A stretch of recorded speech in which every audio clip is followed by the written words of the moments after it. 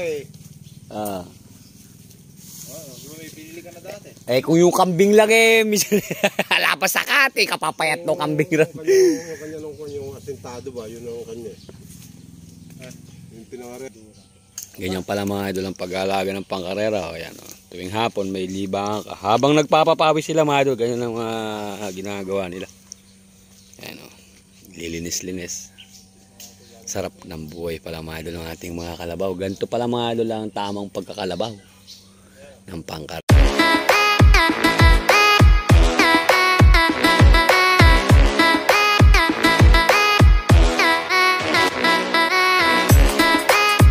Magandang hapon. Magandang araw po sa inyo mga idol. Andini po tayo kay Mark Gregor, kay Hitman at kay Eugene. Ito mga idol, iba-vlog po natin siya ngayong hapon na ito. At dito natin mga idol makikita kung paano nila alagaan ang kanilang mga pangarera. Ayan, ah, kung paano yung pag-aalaga nila. Yung kung bago matulog yung kalabaw, tignan po natin kung paano ang ginagawa nila. Ayan mga idol, bibidyoan po natin. Ito mga idol, si Mark Gregor natin, no? Ah, napapahinga po siya ngayon mga idol. Alang praktisan. Parang lumuluha yata mata na. Ah, nagbungi pala. Kaya pala mga idol hindi siya napapractice. Na parang ano yata yung mata. Hindi ba na ano yung mata niya? Hindi ba nasundot? Ah, Yun yung talaga, luluha lang. Wala naman tayo.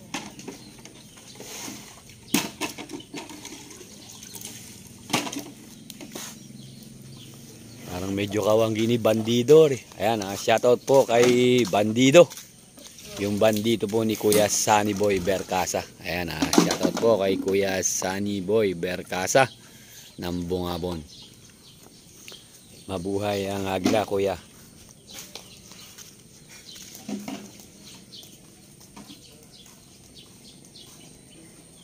Si Mark Gregor. Ayan. Ito naman mga idol, si Hitman natin, si Hitman.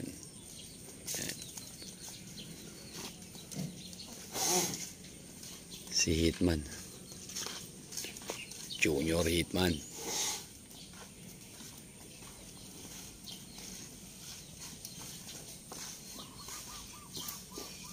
Mas malaki pala si Mark Gregor. Ano eh. Mas may edad ba si Mark Gregor dyan? Magkano ba yan nabili son nung una? Magkano nabili no? Pinalit lang. Oh. Magkano? Anak ng kamuti wala. 35 lang wala po na nila eh. Talagang ah, iba yung magagaling eh. Ngayon na binibenta 120. Ayun naman mga idol, si ano natin, si Ayuda. Si Ayuda mga idol alias Eugene. Ayun. Kalinaw. Unas. Ayun. Mga na-champo natin mga idol ngayon, puro mga ano eh, puro mga alagang, ano naman yan na, pangontra naman sa lamok. Ah, talaga naman. Tinama mga idol, no? Bagay eh, bago matulog eh talagang isinisino pang mga kanilang mga pangarera.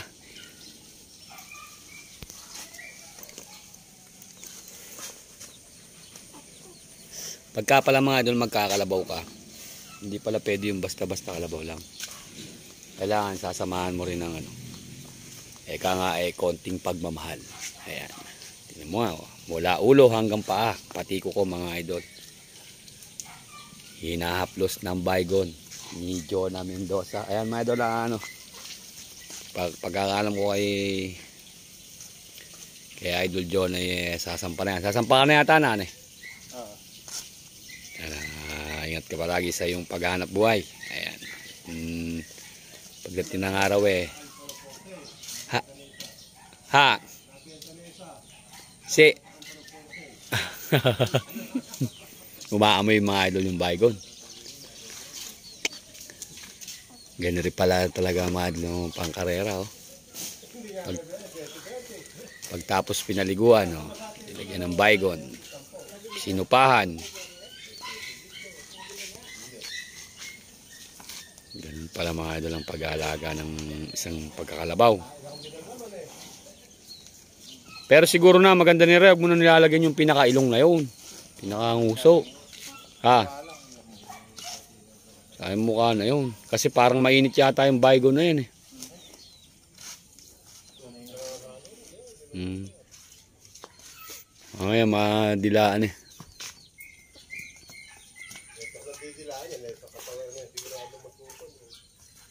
Kainap. Ni Mark Gregor. Na nung camera natin mga idol. Hindi lang siya mga idol napapractice at nagbungi. Ito mga idol ang malang pagkabili. Talagang tipo sa tipo lang. Ah, kaya ano to, kay Tap Tap Mendoza. Si Anwar. Ala po siya ngayon dito eh.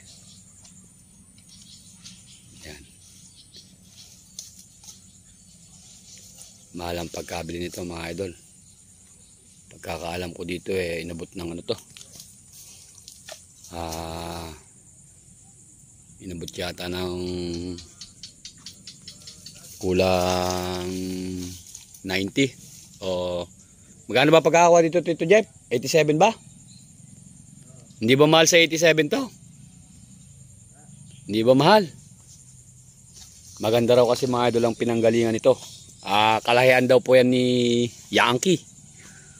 Kaya yan oh. Ganun pala mga idol ah. Talaga pagka may lahing matulin, yung presyo niya rin tutulin. Bagay, kung si Pogi nga mga idol, eh, kalahating milyon eh. Ito, ah, ang ginagawa naman po nila mga idol, ayan, ah, tumutuklas po ng bulo. Sa sa pagkakalabaw naman po pala mga idol, hindi naman porke binili mo ng mahal, alam mo lang matulin, hindi po pala. Ah, kumbaga, tetestingin mo muna, meron po talaga na tumutulin at meron din naman na minsan eh, ayaw din tumakbo. Ganun po pala ang pag tingin ng pangkarera. Pero dahil po hilig nila yon kaya baliwala ang ganung presyo. Kita nyo naman gaano kataas ang presyo. 87 Lumubay ka, Jet! Si Jet, ano? Tinawagan mo na ba yung binibigay Matandang dalaga ka mo.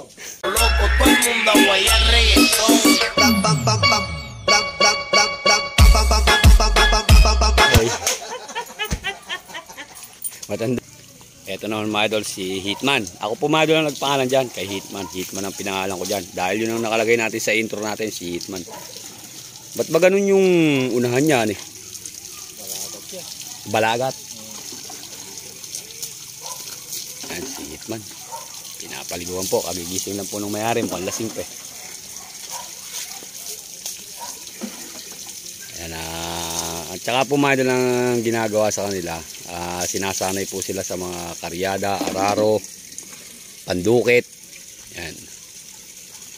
At pagka may karera, pagka may karera, yan, ah, tinetesting po sila, pinapractice. Ayan, si Junior Hitman.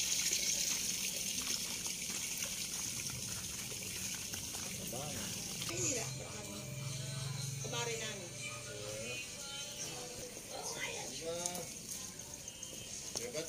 Kaya-kaya natin mga idol yung pag-aalaga ng ganyan ng kalabaw. Yung pagdating ng hapon eh, aasikasuhin natin. Mario Joseph. Parang hindi natin kaya mga idol yung ganyan ah.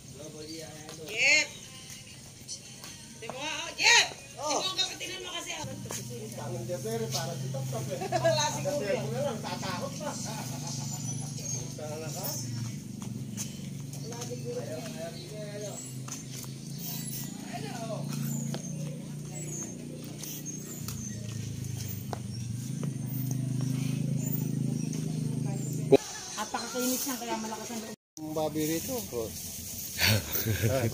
Hindi, sa baboy, mas matrabaho kayo baboy, kaso lang Ba, eh, si McGregor, ang ano, ang gano'n. Wala ka ulit. Ang pulong lalaki. ah, may pinili ka na dati? Eh kung yung kambing lang eh, minsan lapas sa kati, kapapayat no kambing rin. Yung kanya, nung yung asintado ba, yun ang kanya. Ah. Yung pinangare. Ganyan pala mga idol ang pag-aalaga ng pangkarera. O, yan, o. Tuwing hapon may libang ka. Habang nagpapapawis sila mga idol, ganyan ang mga ginagawa nila. Yan o. Lilinis-linis. Sarap ng buhay pala mga idol ng ating mga kalabaw. Ganito pala mga idol ang tamang pagkakalabaw ng pangkarera. Ayan na, ganyan o. Kailan yung pangkarera din eh, bali apat po. Yan may bagong bili pa sila. 87 daw po nakakuha yun. Ganda ng usok ko. Ayan, ganyan mga idol ah, tuwing hapon. Ganyan po ang ginagawa nila tuwing hapon. Papapawis habang nagpapapawis. Ah, linis yung tabagan ng kalabaw. Para daw maiwasan ng lamok. Sigurado mga idol yung kalabaw nito, alang dengue ito. Ayan, ang mga pagkain naman, mga bagaso. Meron pa tayong mga puso ng mais. May bagaso pa. Mukhang mais na nadaga yung nakanahan yung area. Ay, nagingay lang. Ay, mga idol, may agingay. Oh. Kompletong kompleto. Ito mga idol, ah, tapos na pong maligo si Ayuda alias Eugene. Yan ah. Ganun pala mga idol tuwing hapon. Ito na ba nung yung sinaksa nating aso? Nakilala pa ako ya.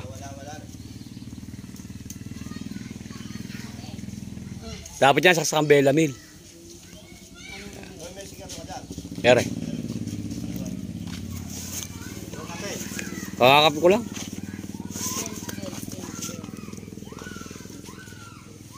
Ano? 10, 12, saka 10, 11. Yan mga idol si Ayuda. Alias Eugene. Yan. Ganyan talaga pala mga idol ito. ah. Pagkapaligo. Alagyan ng baygon. Yan ang libangan po ni Ninong Lito. Ayan, ah, shoutout po kay Jennifer Mendoza Beliegas. Ayan, Jeng, ah, shoutout. Ingat ka palagi dyan sa iyong paghahanap buhay at kay Maria Dea Mendoza. Ayan, shoutout. Tap! Tap, liga. Shoutout mo rin yung tita mo tsaka yung mami mo. Shout out kay mama tsaka kay tita. Ayan, shoutout. Karen, Kay, lalabigay. kay Lola Vicky. Ayan. Ano nga uli pangalan ng kalabaw mo? Eugene. Hindi, yung isa. Si Anwar. Ayan, si Anwar, mga idol. Mahal ang pagkabili mga idol ni Tap Tap doon. 87. si Anwar at si Eugene. Ganyan lang mga idol ang libangan ng magsa. Kaya mga idol dapat talaga ah, linggo-linggo eh. Meron talagang parang pinaka kahit bularit man lang eh. Para yung isang linggong kasi po sila ano, ah, mga nato sa kalamansiyan, pagbubukid, paggugulay. Kaya pagka may karera, nakita nyo naman pagdating ng karera, halos puno ang karerahan kasi po talaga yun ang pinakalibangan nila. Pampalis pagod ekang.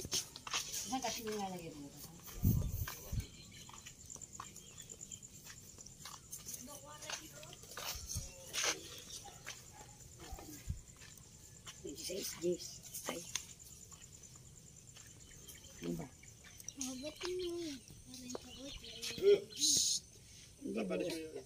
Tataya bukas.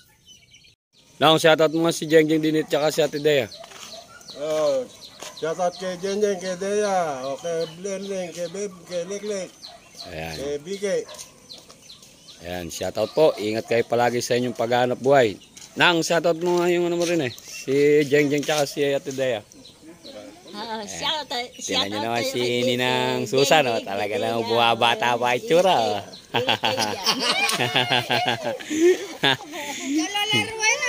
Ganado yun si Jeng pagka nakita kayo. Ayan, oh, ganyan lang mga idol. Oh. Tapos lalagyan ng bygone. Shout, po, shout out po kay Tita Lenlen, Mami Vicky, Ayan, kay Dea, kay Apo Jenjeng. ayan, shout out. Yung mga kaibigan mo, Chang, shout out Ang mo mga rin. kaibigan ko, shout out po. Dayaw family mga idol, Oh, shoutout. Dayaw family, mga idol. Ayan, shoutout po. Hulihin niyo mga idol. Yung mga idol oh. Beo, Ganyan, pagka matutulog mga idol ang ating pangarerang kalabaw. Ah, kaya dun sa mga kasing edad ni Ninong, ah, talagang yan lang ang pinakalibangan nila. Yan, gaya niya si Ninong, di na umiinom yan. Talagang ito lang ang kanyang libangan. Ang himas-himasi ng kalabaw. Ayan mga idol, hanggang dito na lang po ang ating video. Maraming maraming salamat po sa inyong suporta. Joboy AI Idol. Bye-bye.